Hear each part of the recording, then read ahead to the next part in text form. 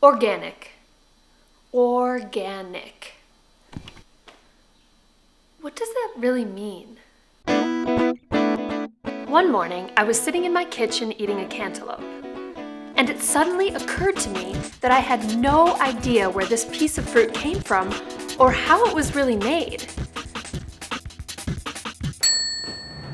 Being an urban girl, I always thought that food came from the supermarket. I realized that if I were to suddenly find myself alone in the city without any stores, I would likely starve. That's a pretty sad fate for a girl whose ancestors grew most of what they consumed. So this is my quest to reconnect with the land and talk to farmers and urban gardeners. I want to know how organic food is made, why it's sometimes expensive, and if it can feed the world.